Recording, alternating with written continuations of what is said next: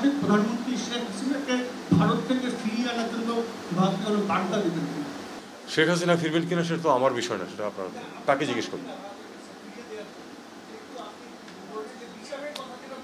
এটা যদি আমাকে এটা যদি আমাকে আইন মন্ত্রণালয় কখনো বলে, এটা আমার বিষয় না। আইন মন্ত্রণালয় যদি বলে যে তাকে ফিরে আনার জন্য চিঠি দেন, আমি দেবো। ফরেন সেক্রেটারি তখন একটা চিঠি পাঠিয়ে দেবেন।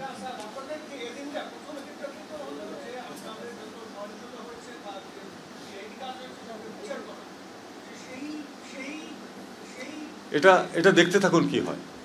সব কিছু একটা জিনিস মনে রাখবেন সব কিছু কিন্তু এই ছাত্রদেরও নিয়ন্ত্রণে না আমাদেরও নিয়ন্ত্রণে না দেশের নিয়ন্ত্রণে না।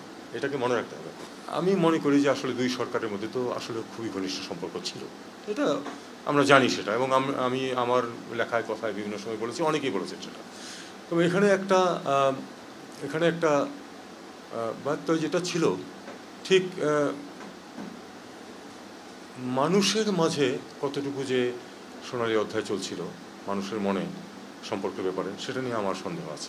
কাজে আমরা চেষ্টা করব যে আসলে সম্পর্কটা শুধু দেশ, দুটো দেশের মধ্যে না, দেশের সরকারের মধ্যে না, দুটো দেশের সার্বিক যে অস্তিত্ব তার মধ্যে মানুষ খুব গুরুত্বপূর্ণ।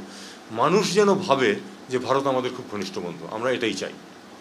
বাংলাদেশের মানুষ যেন ভাবে যে ভারত আমাদের অত্যন্ত ঘনিষ্ঠ বন্ধু। আমরা সেদিকেই সম্পর্কটা নিয়ে- যেতে চাই এবং ভারত, আমরা চাইব যে ভারত আমাদেরকে সেটাতে সহায়তা করুক।